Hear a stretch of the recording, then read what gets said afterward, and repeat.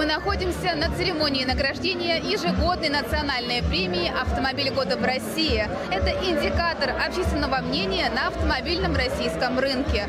В этом году главным призом для участников голосования стал легендарный Volkswagen Golf.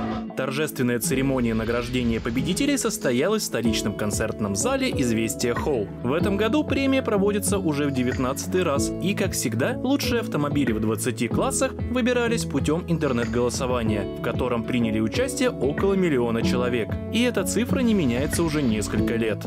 В попытке, скажем так, увеличить количество, мы сталкиваемся с тем, что мы уменьшаем качество. А качество аудитории в этом смысле, оно гораздо важнее, и при такой цифре миллион, ну, мы получаем весьма э, четкую картинку происходящего. Главным призом для голосующих стал легендарный Volkswagen Golf. У нашей марки много успешных моделей, но когда мы говорим про ДНК Volkswagen, то это Golf. И мы с нетерпением ждем, когда на российский рынок выйдет восьмое поколение модели.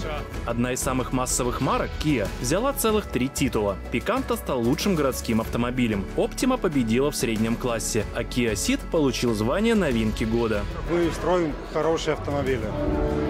А, они надежные, они красивые, они э, дружелюбные по отношению к покупателям. Лучшим легким внедорожником стал Nissan X-Trail. В России эту машину любят за проходимость, за неприхотливость, за то, что она собирается в России.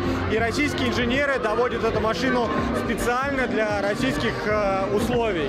Всех победителей можно посмотреть на сайте премии.